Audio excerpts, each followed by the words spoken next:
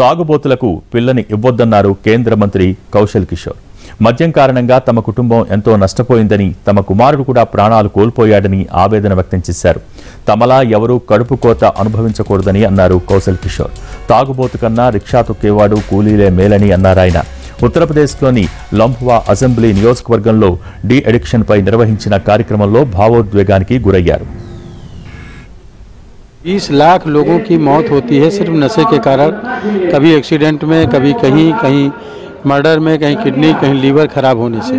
मेरे खुद बेटे की मृत्यु नशे के शराब की वजह से हुई।